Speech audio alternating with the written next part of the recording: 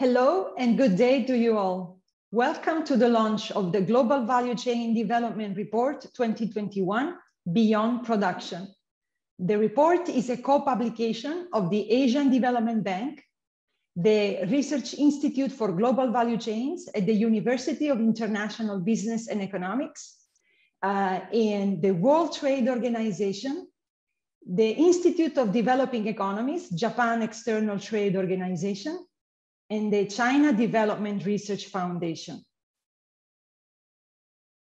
The report is a third of a biennial series that started in 2017. My name is Elisabetta Gentile. I am an economist at the Economic Research and Regional Cooperation Department at the Asian Development Bank. I am an editor of the report and also lead author of the chapter on productivity, innovation, and upgrading along global value chains. I will be your host for this event. The report comprises six chapters full of insights on recent, trends and developments in global value chains, the new opportunities provided by trading services and intangible assets aided by digitization. And also the report explores the rising risks posed by geopolitical tensions, climate change, and pandemics. We are honored to open this program with joint opening remarks by ADB President Masatsugu Asakawa and WTO Director General Ngozi Okonjo-Iweala. Ladies and gentlemen, colleagues, good morning. It is an honor to welcome you to the launch of the Global Value Chain Development Report uh, 2021 Beyond Production. I want to extend special thanks to our partners, the Research Institute for Global Value Chains at the University of International Business and Economics, the World Trade Organization, the Institute of Developing Economies at the Japan External Trade Organization, the China Development Research Foundation, and our eminent guests and speakers for joining us today. Let me commemorate the launch of this important report with some brief reflections on the importance of global value chains for Asia and the Pacific, and the challenges they face if they are to remain resilient and reliable drivers of inclusive growth. As you know, global and regional production chains have been a key driver of economic progress over the past two decades. Firms and countries are now involved throughout the production process, forming what is sometimes referred to as Factory Asia. As a result, trade in our region has boomed. GDP growth has averaged more than 6% per year, and the number of people living in extreme poverty has fallen by 80%, from 1.2 billion in 1999 to 203 million in 2017. Amid this progress, value chains have faced challenges. First, trade growth slowed following the global financial crisis over a decade ago. And second, trade stagnated in the last three years, initially because of trade tensions and then because of restrictions imposed by COVID-19. Let me turn now to some of the key findings of this new report. First of all, the report finds that global value chains has proven to be quite resilient in the face of recent challenges. Innovative solutions such as e-commerce and remote work scaled up in response to the shock of the pandemic. And global value chains were key to the production of personal protective equipment and vaccines. In addition, the report breaks new ground by showing that the value added in global value chains is increasingly generated outside of manufacturing. Let me outline three important uh, takeaways on this subject. First, taking into account the so-called missing value of trade in intellectual property, global value chains may be twice as large as commonly reported. Second, Through intellectual property and capacity for innovation, advanced economies are capturing a growing share of value and employment in global value chains. And third, service value chains offer another new path to development. In light of these findings, let me outline a path forward for our region. As globalization returns and the economy transitions to a new normal, global value chains will be a key driver in the recovery from the pandemic. And so, recovery strategies must include reinvigorating a trading system that is focused on improving the lives of millions. Support for recovery should also build on our enhanced understanding of what value is created by incorporating new value chains linked to services, intellectual property, and innovation. These insights will provide usable knowledge for governments, the private sector, the development partners to increase opportunities for participation in the global economy, especially for low-income economies, small and medium-sized businesses, and groups most at risk of being left behind. To inform these efforts, I encourage further research and policy discussion to promote service value chains in developing member countries, understand how digitization can make value chains more resilient and create more opportunities for micro, small, and medium enterprises, and to enable lower income economies to participate in labor-intensive assembly activities as economies such as the PRC transition out of the space. Let me close by thanking the many organizations and scholars whose work is featured here, along with WTO Director General Ngozi, uh, who co-authored the forward to this report with me. I look forward to your continued contributions on this important topic, which will enable us to achieve a prosperous, inclusive, resilient, and sustainable Asia and the Pacific. Thank you.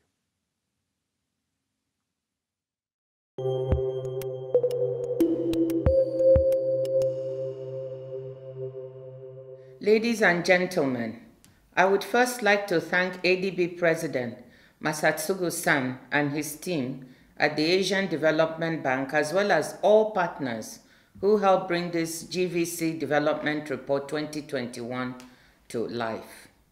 The World Trade Organization has been a proud contributor to the Global Value Chain Development Report series since its first edition in 2017 and will continue to support it.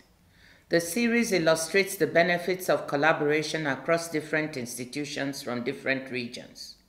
51 authors from 20 research institutions in 8 countries contributed 25 background papers that form the basis for this report. Such collective endeavors are key to provide inclusive policy advice that takes into account different regional and social perspectives. Combining our comparative strengths to create synergies is the most effective way to harness the expertise, know-how, and knowledge that exists in our respective institutions and use it for the common good. Currently, the COVID-19 pandemic is causing supply chains to experience tremendous disruptions as highlighted by the record number of anchored container ships in ports across the world. It has led to an unforeseen surge in the demand for goods at the expense of services.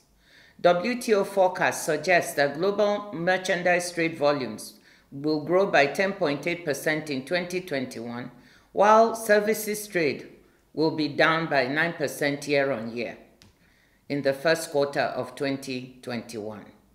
This demand surge is met by a shortage of supply related to shutdowns and other mobility restrictions.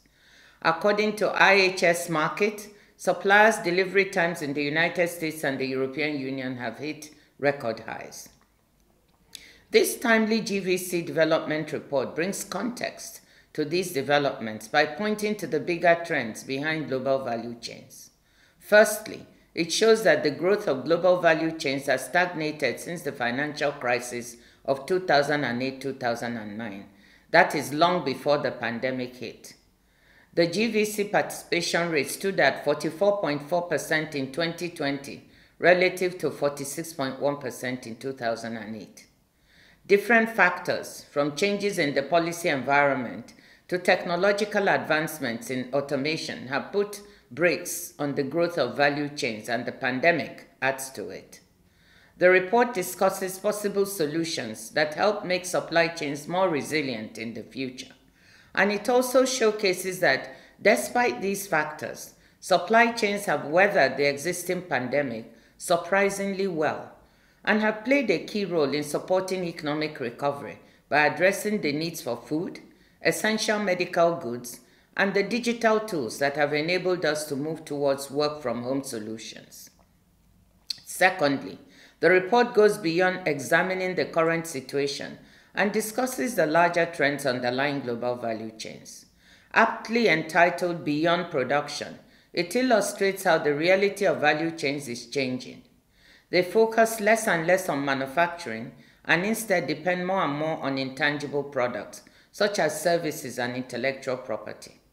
The implications of this for how value is generated and distributed through trade cannot be underestimated.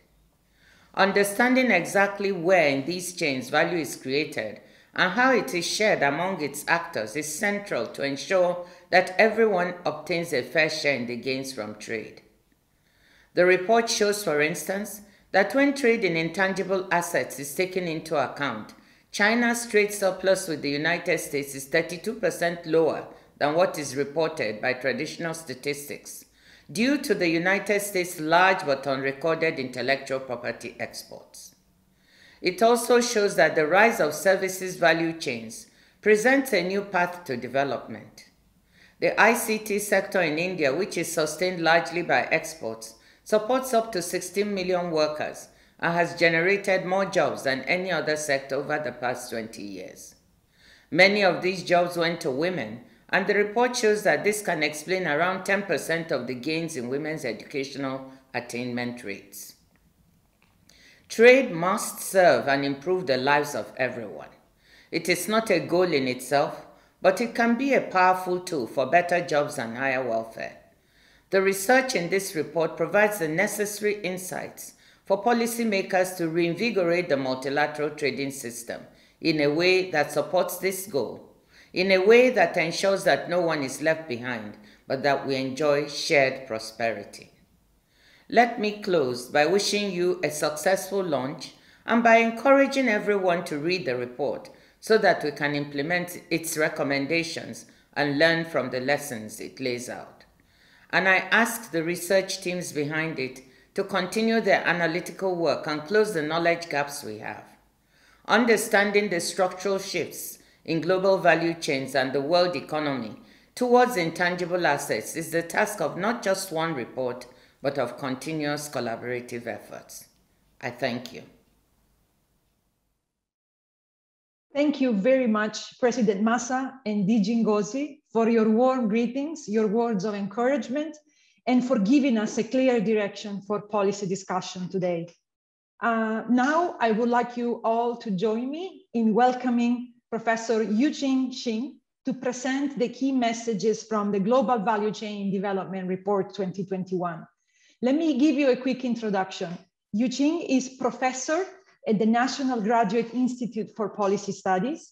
He is also overseas academic dean at the Research Institute for Global Value Chains at the University of International Business and Economics. Yuqing is an editor of this report and lead author of the chapter on trade in intangible assets and intellectual property. Welcome, Yuqing. Thank you very much uh, Elisabetta. It's my great honor to present the key message and finding of this report. The research of this project started in April of 2019, despite of all difficulty in the last two and a half years. The research team from five organizations successfully conclude the project with this fascinating uh, report. I'd like to thank all the researchers who contributed their innovative idea to this report. In particular, I'd like to thank Dr. Elisabetta Gentile and the ADB team, not only for their excellent research contribution, but also for their effort in publishing this report. Also, I'd like to thank Dr. Robert Koopman, Chief Economist of WTO, Professor Yasuyuki Sawada, former Chief Economist of ADB, and Professor Wang Zhi for their consistent support and guidance to this uh, report. This report includes five, six chapters. I'd like to discuss the key message and finding mm, by chapter by chapter. So chapter one outlines the recent trend in global value chains. So basically we use two indicators to measure GVC activities from 1995 to 2020. So globally, GVC participation rate rose substantially from 35.2% to 44.4% from 1985 to 2020. It reached the peak 49.3 in 2018. So similarly, GVC's contribution to GDP rose from 9.6% to 12.1% in 2020. However, the global financial crisis caused a sharp fall in both indicator in 2009. Again, after 2018, the US-China trade war and the ongoing COVID-19 pandemic disrupted GVC activity. If we look at individual economies, we found that almost all economies had experienced an increase in their GDP GVC participation from 2000 to 2019. So from the figure, you can see that all the dots measuring GVC participation in 2019 are ahead of the blue lines. In particular, the participation rate for Germany rose from 45.6% in 2020 to 52.4% in 2019. However, it's very interesting. We found that the GVC participation rate of the PRC, which has been the center of global manufacturing assembly, fell from 35.1% in 2010 to 33.9% in 2019. The two indicators are basically calculated with export of intermediate goods. They do not include some activity of multinational corporations. For example, local sales by foreign multinational corporations and the final products exported by foreign multinational corporations in an economy are GVC activities, but those two indicators do not include those activities. So if we include those activity, we found that the contribution of GVC to the global economy rose significantly. So in this chart, the gray area actually show the contribution of the multinational company from their local sales and final product export. Specifically in 2019, the contribution of GVC to the global economy almost doubled. That is reached 20.2% if we include the activities of multinational company. Often we map the GVC network from supply side. So if we go beyond the production and we map the GVC uh, network from demand side, we show a completely different picture. Specifically, the United States has consistently been the global demand center of GVC, which is a vital fact for us to understand the impact of US policy on the trajectory of GVC. So in these figures, we shows the evolution of GVC network from the perspective of demand. So you can clearly see that in 2005 and in 2016, the US has been the center. There is no change to the center position of the US. So chapter two focuses on trade in intangible asset along global value chain and intellectual property protection. GVC have provide a new trade model where firms export the services of their intangible asset through tangible products manufactured by foreign contract manufacturer. This kind of new trade differ from conventional trade in service. It does not cross national border. The major player of this new trade are multinational company which specialize in developing intangible asset, such as research and development, brand development, marketing, distribution, and retailing. Apple is a typical example. However, current trade statistics cannot capture such extensive trade activity. So if you look at this table, you can find the significant difference between official trade statistic and the operation of a factory, factory less manufacturer. So in 2018, according to the official trade statistic, China imported about 4 million or 4 million US dollar of laptop and mobile phone from the US. In the same year, American company Apple sold almost 52 billion products in China. So which is 12,800 times of the official import number.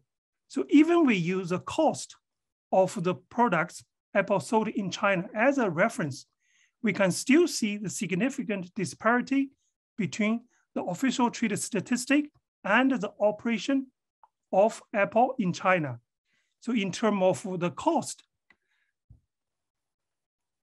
it is 8,000 times of officially reported uh, imports by China from the US in laptop, computer, and mobile phone. So the significant difference indicated that current trade statistic we use for policy analysis actually do not count even one dollar of Apple sales in China as a US export. So we have a question, does Apple export its products to the PRC? Of course it does. However, the outdated trade statistic tell us no. So the missing activity of factoryless manufacture by the official trade statistic lead to two consequences. One is the export of a developed economy are substantially underestimated because most of factoryless manufacturers are from industrialized country. Secondly, the trade imbalance between developed and developing economy is distorted. Why? Because developing economy have very few factory, factoryless manufacture, but they consume a lot of products produced by factoryless manufacturer from industrialized country. Here we use the example of US PRC trade to indicate those two consequences. So in 2018, the four factoryless manufacturers, Apple, Nike, Qualcomm, and AMD, all of them are American company. They earned 27.9 billion US dollar from their intangible asset in the market of a PRC, which is equivalent to almost 50% of the officially reported US export in service to China. So if we include this 27.9 billion US dollar, we think it should be, then the US export in services to China would increase almost 50% to 85 billion US dollar. And the bilateral trade imbalance between the two countries would decrease about 7.3%. Well, factoryless manufacturers are just a small group of multinational company which use GVC to export the services of their intangible asset. The many multinational company, they use foreign direct investment to export the services of their intangible asset. For example, Tesla, Toyota, BMW. So current trade statistics are based on territory. So the development of GVC and foreign direct investment have made national border less meaningful in, med in measuring trade activity. In order to understand what an economy actually export to foreign markets, we introduce a new concept, trade in factor income. So we use trade in factor income to define export. Why? Because earning income is a fundamental purpose of export. So according to the trade in factor income, a country's export are defined as the sum of the incomes earned by the factors belong to the country in foreign market. So we use US and China as example to do a, a calculation. So our calculation suggests that in terms of trade in factor income, US export to China actually is 8.2% higher than reported in trade statistic. Why? Because many American multinational corporations, they export to the global market outside of the US. On the other hand, if you look at the estimate for China's export to the US in terms of trade in factor income, it is lower than reported in gross value, 6% lower. Why? Because many foreign national companies, they export from China, but the income they earned does not belong to China's national income. So if we use this concept to recalculate the bilateral trade balance, we found that China's trade surplus with the US in terms of trade in factor income that indicated by this red line is much lower than that in gross value, about 32% lower.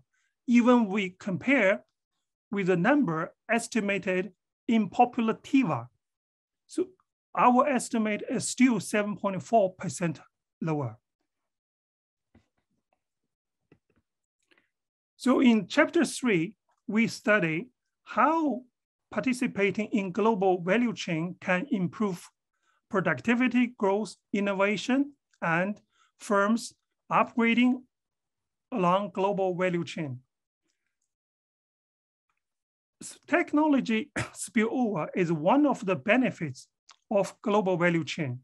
So our research shows that GVC participation can enhance knowledge spillover from foreign research and development activity. So here we use the experience of OECD country to show that if a country join global value chain, this country can benefit from foreign countries' research and development.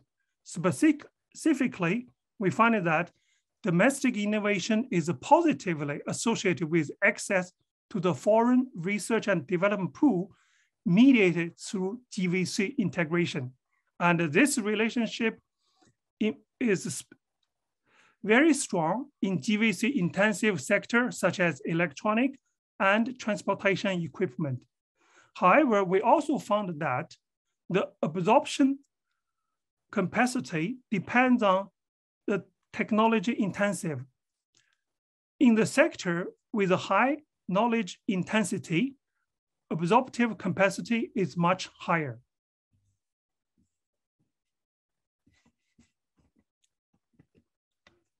Well, the productivity growth and innovation enhanced by uh, GVC eventually will lead to higher income.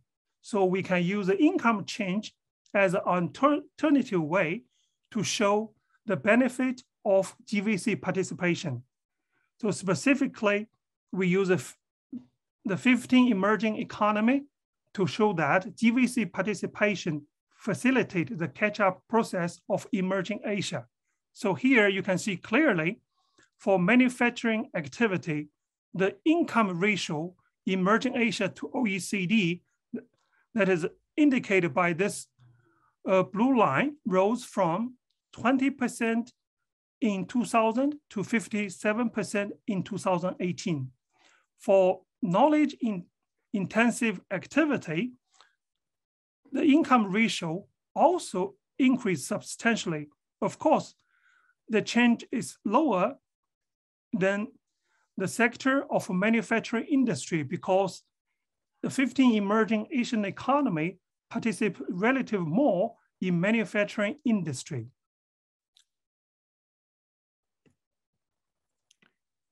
Well, entering a global value chain for firms from developing country, that is the beginning of a journey of catching a high value added and moving along the ladder of a global value chain. So if firms from developing country do not want to be trapped in low value added segment, they have to upgrade along global value chain. Upgrading along the global value chain is not necessarily a linear. Linear upgrading basically means that a firm moves from low to high value added segments step by step. So nonlinear paths could be also a possible for upgrading along GVC. So specifically, we define the nonlinear upgrading as this, that is a firm jump directly from assembly to um, module-based product design and brand marketing. So the firm do not have to develop some core technology before they focus on brand development. China's smartphone industry is a successful story of nonlinear upgrading along GVC. Now, of the five top global smartphone brands, three are Chinese. All the Chinese mobile phone makers actually outsource, actually outsource all their technology components from foreign company. They simply focus on marketing and brand development. Even the most innovative Chinese company, Huawei, source most of core technology for its phone from foreign companies. So the nonlinear upgrading strategy can increase value too. So here we show the value added uh, in three different phones. That is iPhone 10, Oppo R11s, Xiaomi MX2. Clearly you can see in terms of manufacturing uh, value added, China's domestic value added is not very high. In iPhone X, uh, China captured about 25% of value added from the manufacturing process. In the Oppo phone and the Xiaomi phone, China's domestic value added in terms of manu manufacturing cost is about uh, 16 to 15%. But if we consider all the value added measured in terms of retail price of the three phones, we can see that clearly, that is China's value added rose significantly. In Oppo phone, China's value added is about 43 to 45%, and in Xiaomi is also around uh, 42%. So the brand developed by Chinese phone maker generate additional value added. But this nonlinear growth uh, strategy is not risk of, uh, free. Geopolitical tension and trade friction could be a risk to the nonlinear upgrading strategy. The fall of Huawei's smartphone is a clear example. In chapter four, we focus on the, the role of global service value chain for service-led development. In this chapter, we go beyond completely of production. We focus on service value chain. Actually, service value chain offer a new path for development, create jobs and income.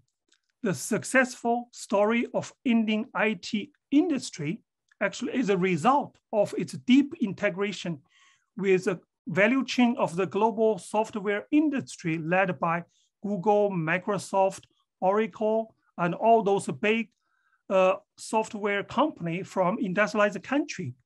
The booming business processing outsourcing in the Philippines in the last 10 years is also due to Philippines' active participation in the service value chain, which led by banks, telecommunication company, insurance company from industrialized country. So here you can see that the service value chain provides significant jobs and income for their economy. In Philippines, the BPO, that is the business processing outsourcing, created about 1.3 million jobs in 2019. Its revenue was about 7% of Philippines GDP in 2019. So if we look at India, the direct job uh, creation was about 4 million in 2018. If we consider the indirect job creation, which would be three times uh, as high as the 4 million jobs created directly. So in terms of revenue, the IT industry of India accounted about 6% of its GDP. So the successful story of Philippines and India in global service value chain indicated that the fears of a premature deindustrialization are not warranted. I think many of you heard this talk about premature uh, early uh, deindustrialization might be harmful, but here we shows that, well, that may not be a warranted concern. In addition, service value chain provide more benefit beyond employment and revenue generation. For example, service uh, value chain tend to improve gender uh, equality. It also uh, more environmental friendly than conventional manufacturing uh, value chain. But of course, there are some kind of challenge we have to uh, deal with. For example, service value chains are skill intensive, so that may increase income disparity between skilled worker and non-skilled worker. Generally, uh, service sectors are concentrated in urban area, so rural area might be left over. In addition, because of automation and rapid you know, adoption of robots, so low skilled task of a service value chain might be replaced by automation and robots. Well, if developing country want to enjoy the benefit of a service value chain, they have to increase the investment in education, in particular, the education in rural area, in addition, they have to invest in research and development, which will lower the barrier to service trade and to facilitate the catching up in service value chain. The rise of service GVC and structure change towards service is a fact, which has been further strengthened by the pandemic. As you can see, we have moved everything, all our work into online, which indicates the importance of a service value chain. Therefore, the policymaker of developing country, they have to be proactive to prepare their economy for the, this development and benefit from the rapid development of a service value chain. In chapter five, we focus on risk to global value chain. The rapid development of global value chain in the last three decades had been driven by efficiency improvement and profit maximization. But in the recent year, we have realized global value chain subject to serious risk, risk beyond production. So in this chapter, we discuss three risks, geopolitical tension, environmental shocks, and COVID-19 pandemic. So geopolitical shocks such as the US-China trade war and a possible technology decoupling between the two largest economy have become a primary concern in the last few years. So according to standard measure of uncertainty, the uncertainty triggered by US-China tension increased 20% to the global uncertainty since 2016. So if we look at the GVC related trade, we found that the US and the European import from the PRC through GVC had increased significantly from 27 to 18, as indicated by this chart A, but fell substantially after that. So if we look at China's share in the US GVC re related imports, it also fell significantly as indicated by uh, this blue line. In addition to geopolitical tensions, environmental shocks such as earthquake, floods, typhoon often hit the stability of global value chain. The environmental shocks affect global value chain in both supply and demand side. However, environmental shock are generally localized in domestic network can be confined in a short term. But according to uh, our analysis, the disaster triggered by natural hazard will continue to increase. That basically means environmental risk will be a major challenge to the future trajectory of GVC. Well, currently the whole world has been suffering the unfolding COVID-19 pandemic. So the outbreak of COVID-19 pandemic has disrupted the smooth operation of global value chain. The lockdown and the border closure restrict the mobility of labor, which caused the closure of a factory and the shortage of labor. The contingent effects spread through the value chain globally. Basically means, you know, a factory shutdown in China definitely would affect the up upstream firm in Japan, Korea, and other countries which rely on the intermediate inputs produced by Chinese factory. The statistic shows that because of uncertainty associated with the COVID-19, the global FDI actually fell 42% in 2020. As you know, FDI has been a major channel for the extension of global value chain. More complex and lengthy GVC, they're even more vulnerable to the shock of COVID-19. It is estimated that the global cost of COVID-19 lockdown actually caused a loss of 12.6% of global GV, uh, GDP.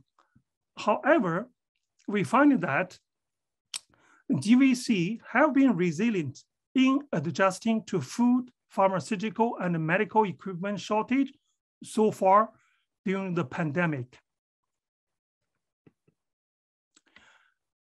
In the last chapter, we discussed the relationship between technology platforms and global value chain. Digital economy have generated about 3.8 trillion revenue in 2018. The new digital economy is based around a platform such as Google, search engine, Alibaba, the marketplace technology platform, and Android, which is operating system. So if we look at the regional distribution, Asia accounted about 48%, almost half of the 3.8 trillion. However, the distribution of this digital economy is not equal across different continents. So basically, the digital economy is highly clustered, clustered in Asia, Europe area, and the North America. So the rest of world still face, I think, slow growth of digital economy. The development of a digital economy actually create a new global value chain, which are internet-driven global value chain. So this digital economy-based uh, value chain have been replaced the traditional brick and mortar retail store. This trend has been further strengthened by the current COVID-19 pandemic. There are few advantages of digital platform-based uh, GVC. First, this digital platform-based uh, GVC make a participation in GVC easier and reduce the transaction cost significantly. Secondly, the digital platform-based GVC lower the cost of the firms participating in international market. As you know, like it's very difficult for firms from developing country, in particular, small and medium enterprise to sell their products in the global market. But now it's very easy for a small firm to sell their products to global customers through Amazon.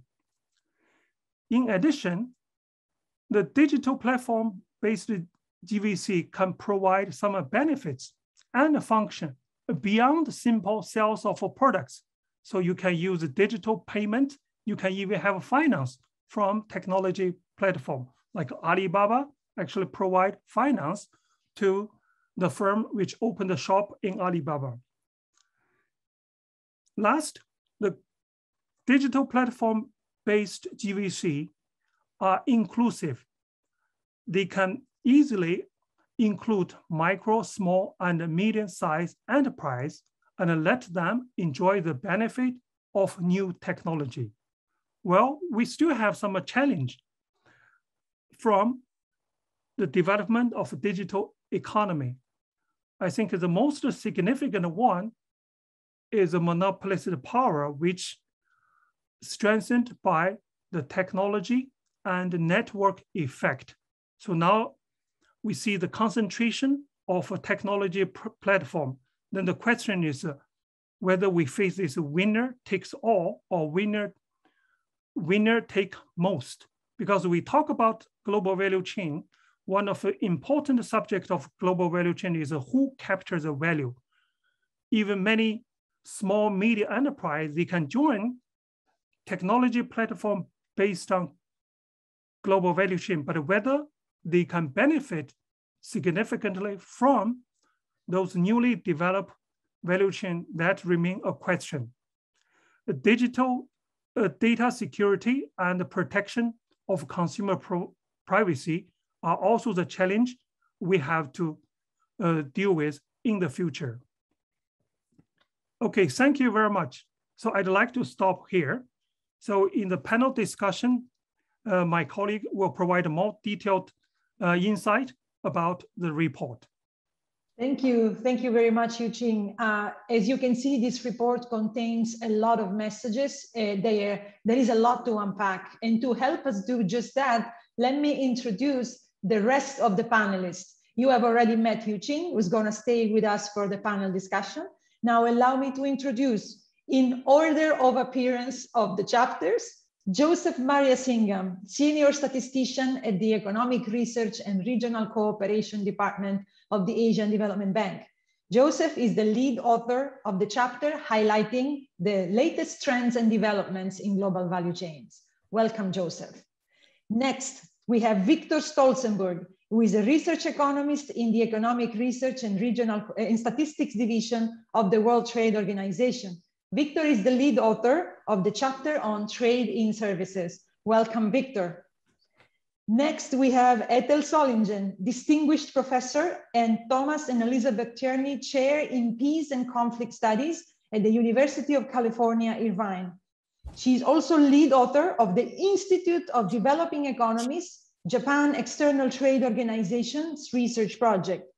Etel is the lead author of the chapter on rising risks to global value chains. Welcome, Etel. And finally, as we like to say, last but not least, Catherine Lundquist. Welcome, Catherine. She is Economic Affairs Officer in the Economic Research and Statistics Division of the World Trade, of the World Trade Organization, and she is lead author of the chapter on digitization and its impact on global value chains. So while Yuqing was presenting, I could already see a ton of questions being posted in the Q&A section. So without further ado, if you allow me, I would like to proceed to asking you some of these questions. So DG Ngozi, in her opening remarks, has already mentioned a very important trend that we observe today, uh, the trend of globalization. This term has been used frequently to indicate that globalization has slowed down in recent years. So I would like to ask Joseph to open this discussion. How do we measure exactly this slowbalization? What are the causes also? Uh, I think uh, the colleague, the, the audience will be very interested in understanding that. Thank you, Elisabetta, for the question. So before we get into the definition or uh, to understanding the globalization, we need to understand how globalization or the hyper globalization was brought about, right? So if you look at the time period between the late 80s and up until, so it's about the 20 year period between late 80s and up until the global financial crisis of 2007 or uh, 8 we have seen a lot of changes in the geopolitical situation, uh, socioeconomic situation, and technology. Right. Uh, so let's not go into the political uh, situation, but uh, we can look at the technological improvements. See, all the disruptive technology that we know of now uh, actually uh, came were realized during that period. internet, smartphones, you name it. Uh, and then uh, obviously many countries opened up. Uh, for example, uh, China opened up during that period. India opened up further during that period.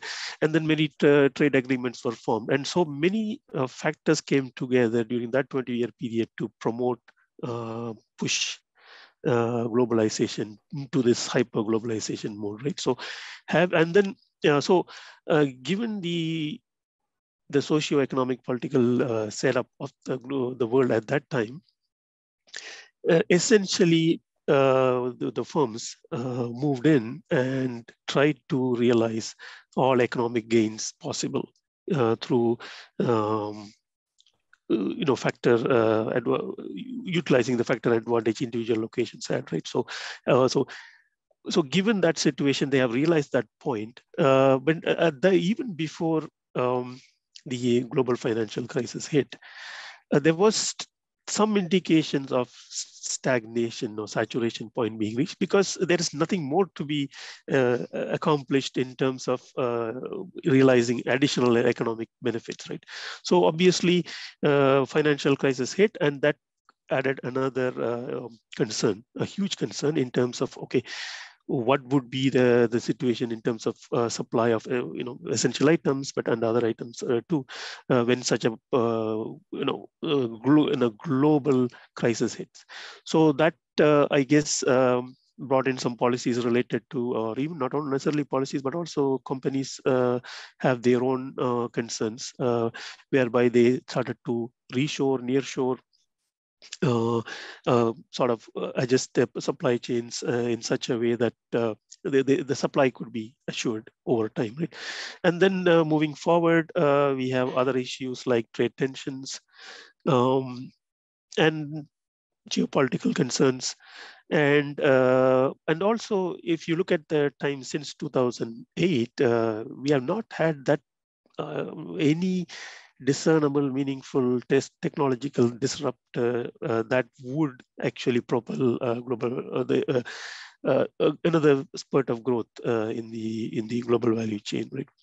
So so they and then also it's uh, again uh, having reached a peak it's it's uh, uh given the circumstances uh, given the the administrative geopolitical setup uh, it's it's possible that all the firms the big players in the in the in the, the GVC space have already realized their economic gains so uh, moving forward. Uh, and then, of course, I don't need to talk about the pandemic, right? Uh, that has its own impact on the, the, the on various aspects of uh, economic, socio-economic life. Uh, moving forward, I guess um, we will need to look into a number of things. Of course, COVID needs to be addressed head on. Uh, that's the big elephant in the room. The next one is uh, governance. When I say governance, uh, we need to remove bottlenecks all the way up to administrative level, where this is where digitalization can help, especially with related related to uh, uh, you know the administrative hurdles that can disrupt logistics and so on. So yeah, I'll stop there. Thank you. Thank you, Joseph. Indeed, uh, you highlighted that there are a lot of causes jointly determining the trend that we are observing. I have a follow-up question. I would like to ask it to both Etel and Joseph. Uh, the question is the following. What will the rise of economic nationalism mean for the future of globalization? I would like to ask Etel first, and then I will ask Joseph to add uh, his considerations.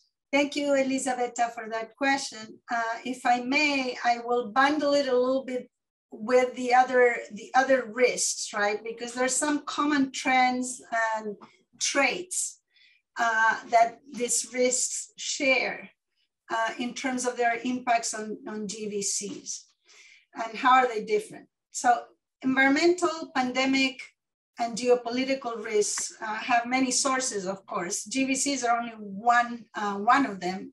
And GVCs can certainly exacerbate each of these risks. All three risks, uh, nationalism included, uh, from GVCs are on the rise. But now, if we reverse the causal arrow, uh, each of these three risks also affect GVCs. Uh, so all three risks to GVCs are also rising.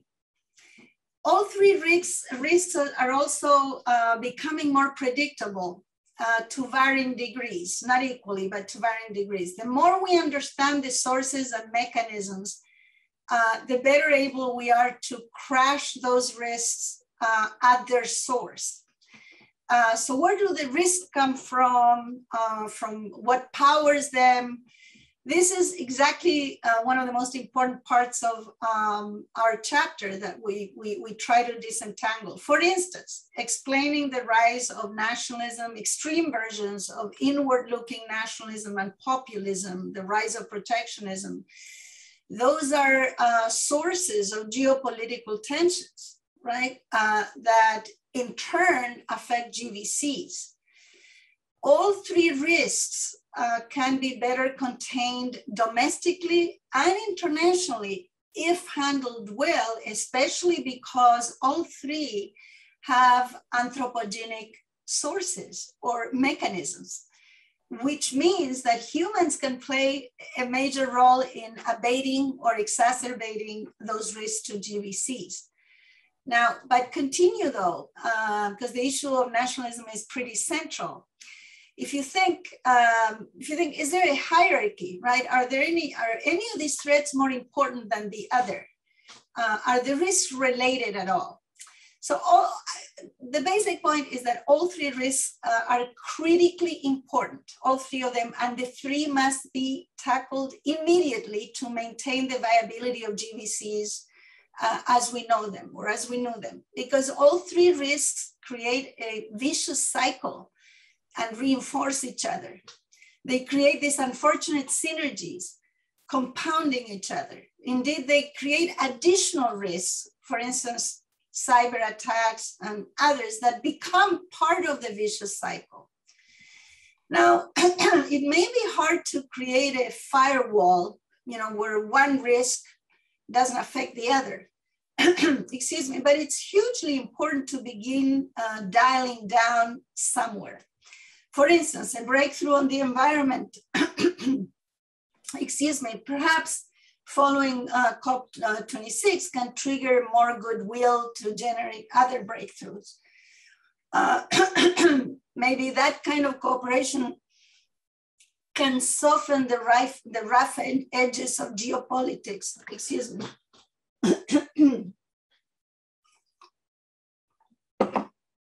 And reinforce mutual commitments across all three domains in a way that now introduces a, a, a synergistic but virtuous cycle. So programmatically,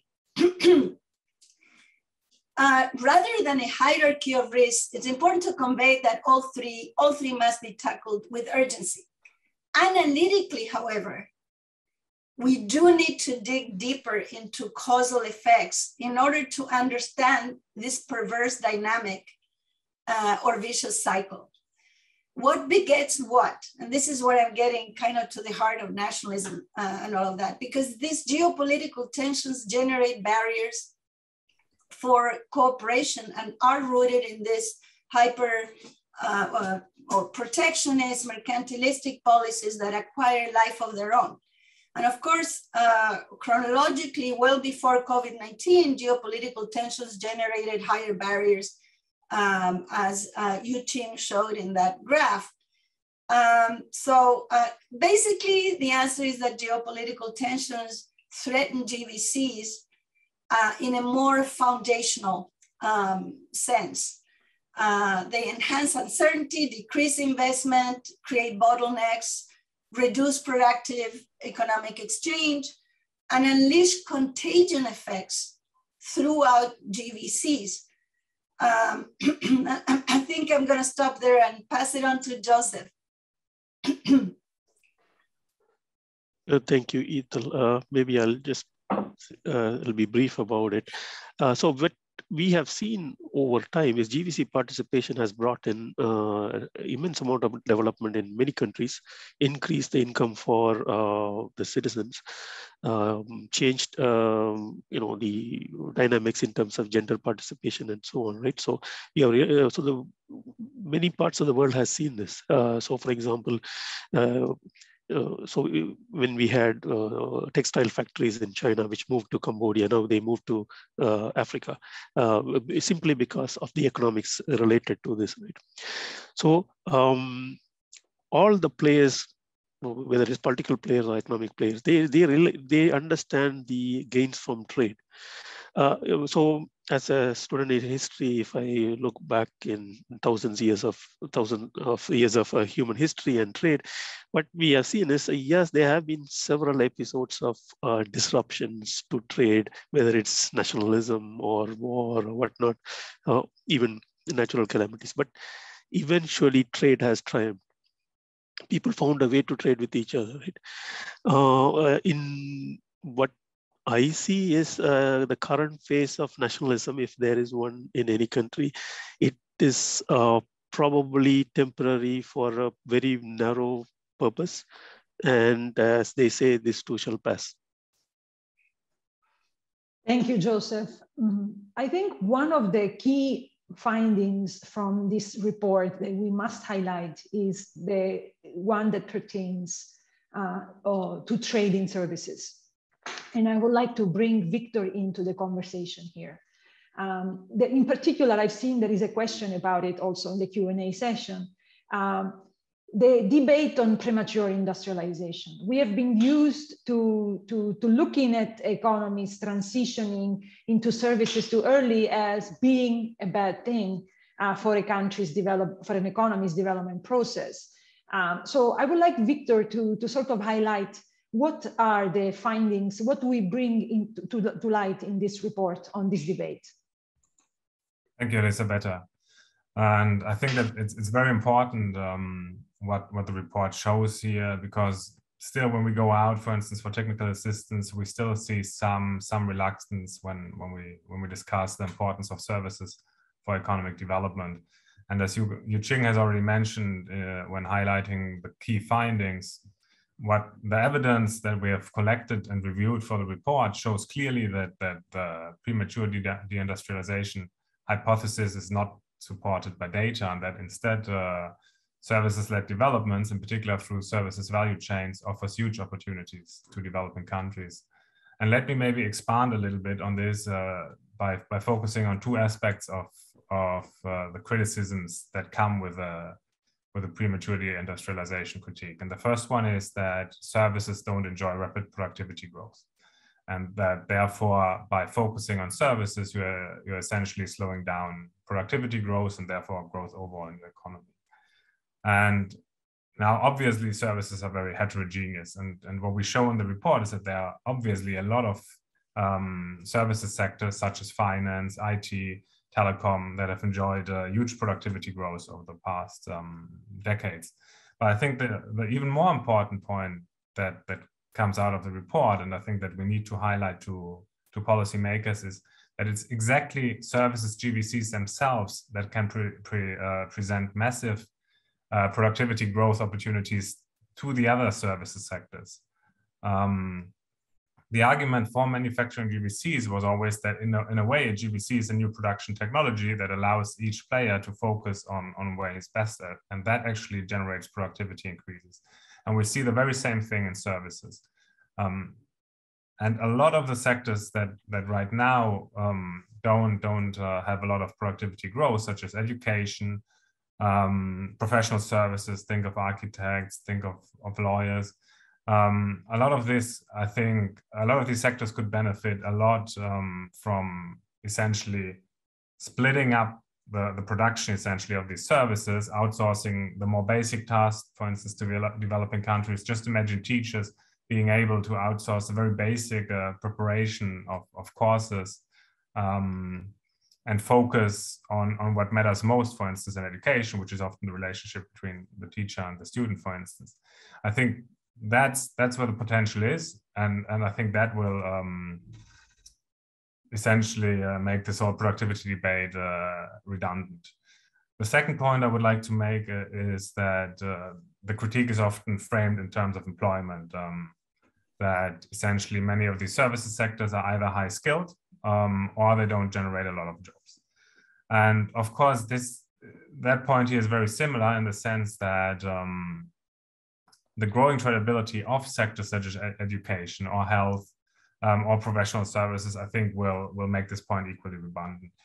It's true that at the time being, we don't see a lot of, of trade in, for instance, education or health, but we also see that these are the fastest growing sectors when it comes to trade.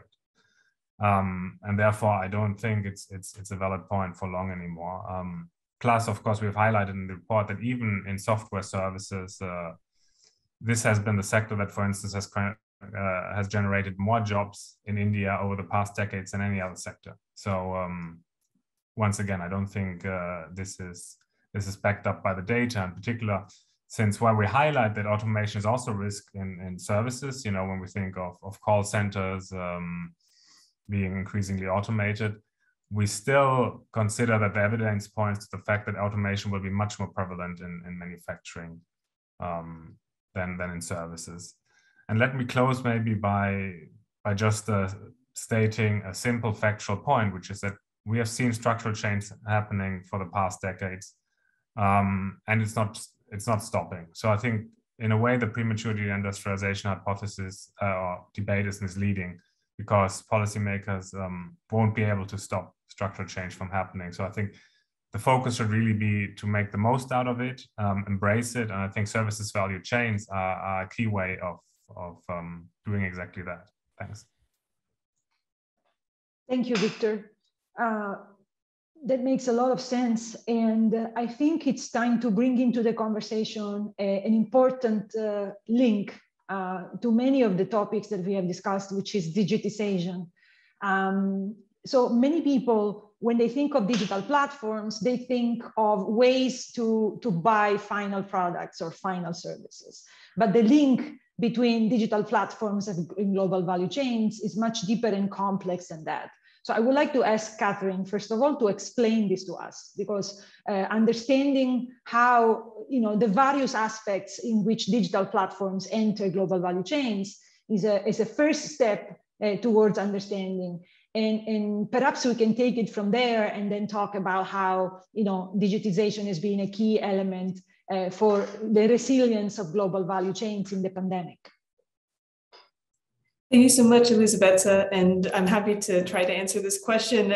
I tried my best to answer this in the chapter, but it was it was definitely a challenge. It's um the, the problem is, or I'm not sure the problem, but digital platforms are based and the digital economy are just inherently linked in GVCs. It's hard to extricate the two. Um, as detailed in the chapter, the two were established based on ICT and information and communication technology. It was because of those two that both digital platforms could be developed and GVCs could, could be created in the first place. Because without that communication, there was no way to keep your business um, coordinated and to establish links that are international in a production value chain. However, then the question is now with digital platforms, how um, how are they connected with the GVCs that that were um, developed simultaneously? And the truth is that at this point, the, the two are are connected in that the digital platforms provide tools and technologies that are are now required in order to make a functioning and uh, competitive uh, global value chain um, to begin with. And then on top of that, the, the platforms themselves are creating new uh, value chains uh, that are that are in essence in, in essence global as well. Um, as as Yuqing uh, mentioned, there are the the internet driven value chains, but even beyond that, there are there are data driven value chains and it's these platforms that are creating the data that is then being further processed and developed into further value that is essential for today's digital economy and I think with that, I will I will leave you with a taste of the complexity of, of the interlinkages between the two and the difficulty in trying to to really focus on uh, on this uh, this essential but hard to measure and um, and sometimes hard to define uh, aspect of, of global value chains as they stand today. Thank you, Catherine. I think uh, we are naturally heading into a very important piece of the puzzle. And I would like Eugene to, to come in on this. Uh, I think it's time, now that we have all these different elements together, to really discuss what beyond production means. Uh, and so I think now we have enough elements to sort of tie it all together and explain the, the theme of this report. Okay, thank you very much, Elisabetta, for raising raising this question. Uh, if we look at a global value chain, it is a firm which specialize in non-production tasks that organize and operate global value chain. Generally speaking, the task beyond the production deliver much higher value than the task of a production process.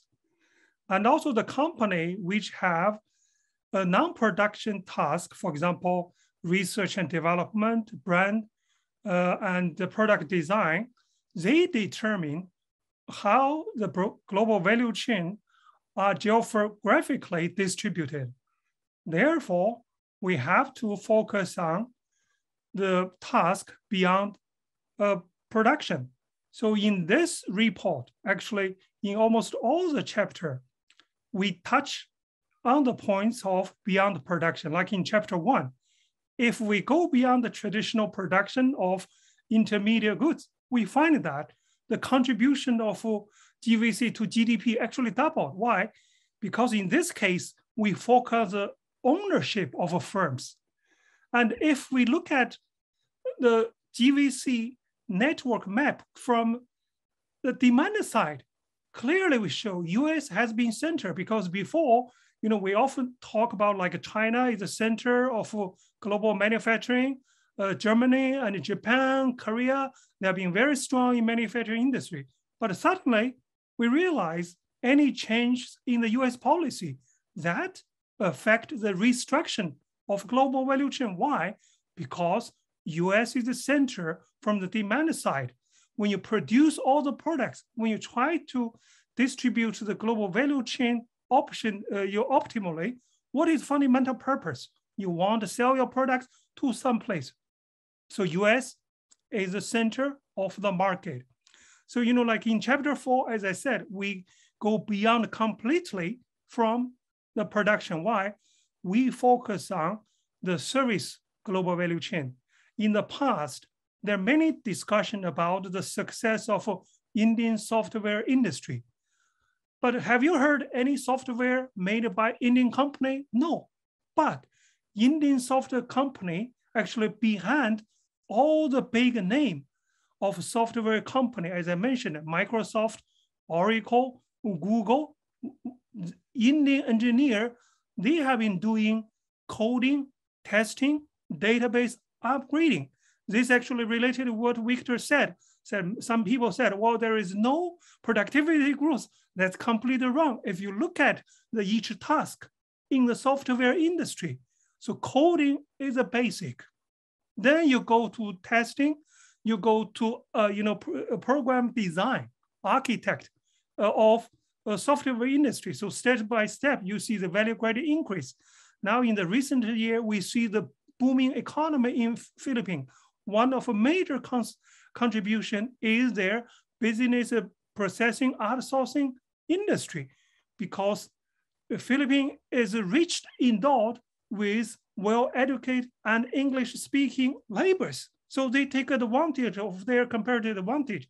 So once we go beyond the production, we can realize the risk are very important when firm and policymakers think about geographic location of global value chain. Now, this time, I think many countries have learned a lesson from the overly distributed global value chain and excessive dependence on global value chain to pro for producing the basic medical supplies. Because once you know we were hit by the pandemic, suddenly we realized we need a lot of masks, we need a lot of personal protective equipment, we need a ventilator, we need a medicine. But because in the past, many countries simply rely on global value chain to provide those goods. So even those countries wanted to increase the production in the short term, they couldn't do that.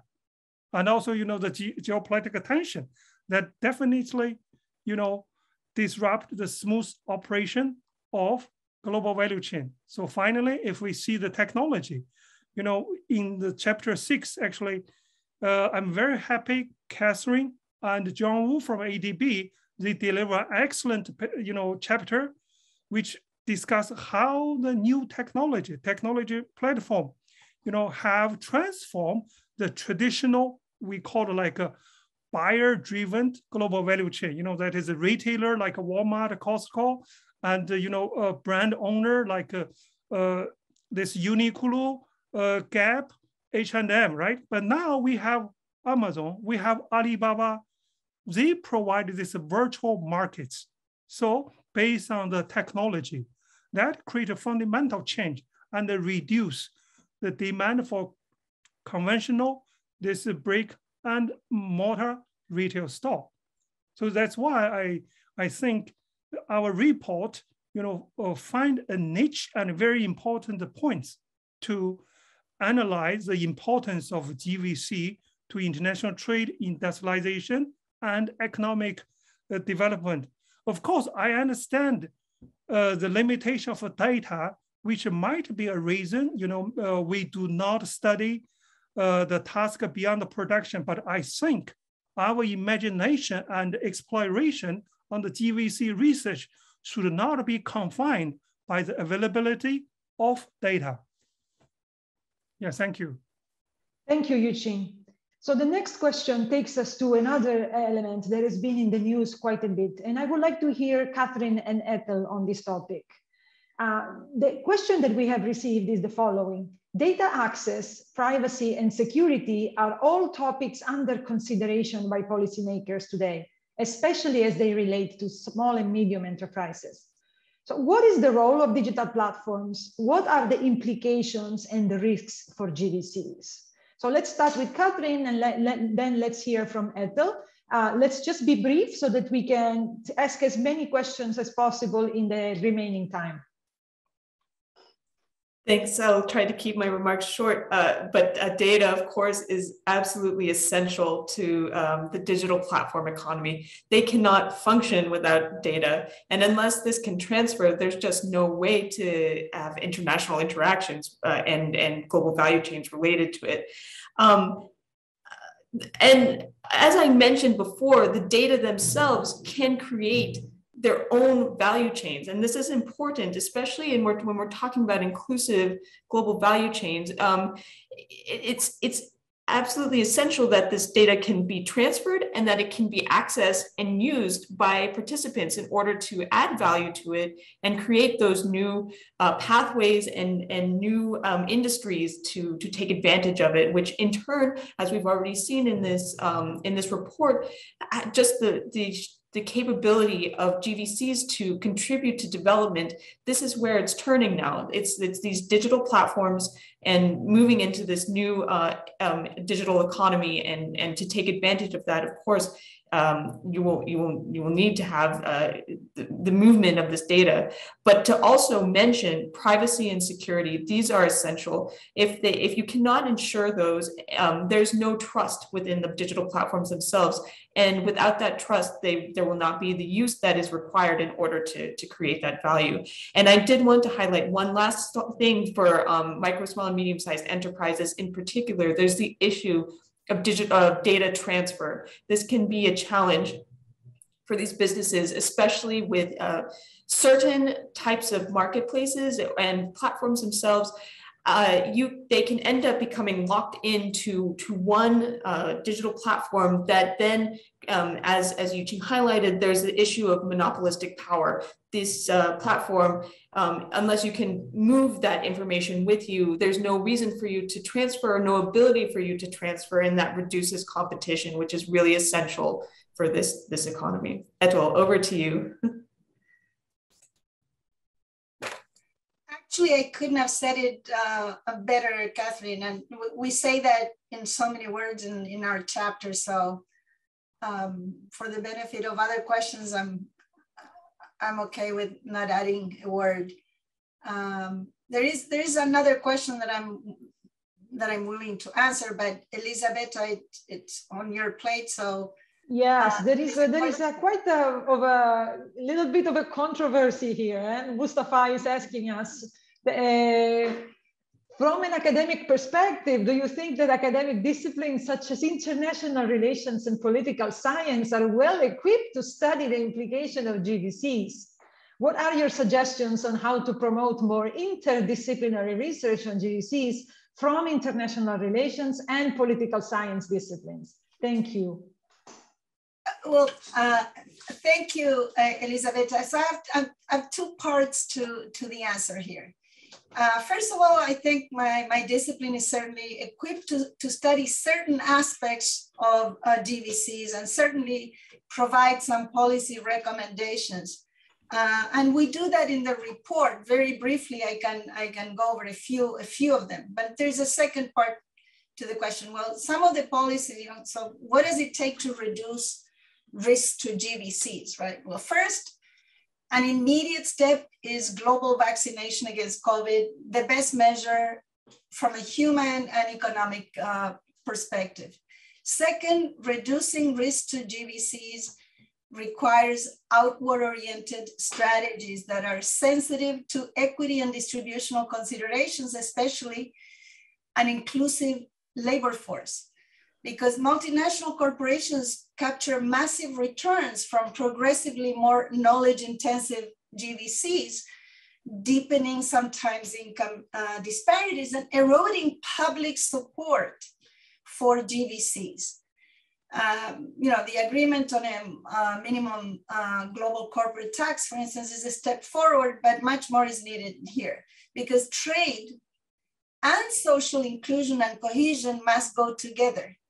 Um, third, reducing risks does require that GVCs be environmentally sustainable, uh, engaging in massive reductions of greenhouse gas emissions and shifting to green, green technologies at a breakneck pace, may I say. And this may be costly, but the alternatives are worse.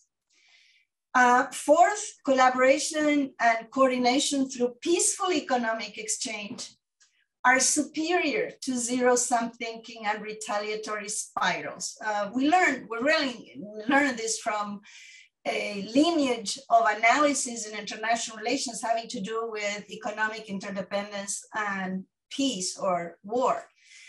Dramatic GVC growth coincided with the longest expand, peaceful economic expansion in East Asia since the end of World War II. And at the very least, GVC interdependence may lower the barriers to more severe interstate conflict. And we really do not want to test the alternative. That is what happens in a counterfactual world without interlocking GVCs. So it's important to step back from those risky kind of inward looking policies of extreme statism, mercantilism, and illusions of complete uh, self-sufficiency because self-sufficiency across the board is elusive, unrealistic, costly, inefficient, and often counterproductive. Thank you, Etel. Thank you very much. Unfortunately, we are running out of time. There are so many more questions that I would like to ask the panelists, uh, but we really don't have any more time. Um, so I need to wrap up today's discussion. I want to, uh, uh, I encourage, just like DG Ngozi already did, I encourage all of you to explore the report because there are so many insights and we have so little time to explore them all. Again, a big thank you to President Bassa, DG Ngozi, our panelists, Joseph, Yuqing, Victor, Etel, and Catherine. Uh, our thanks to all the colleagues who uh, contributed to the report with their background papers, uh, chapter authors, discussants, everybody who made this endeavor possible. Uh, the Global Value Chain Development Report 2021 Beyond Production is now available on the ADB portal www.adb.org. It will be very soon, if not already, available on the platforms of our partner, co-publishing partner organizations as well. In the meantime, thank you all and stay safe. Thank you. Thank you very much. Thank you. Thank you, everyone. Thank you.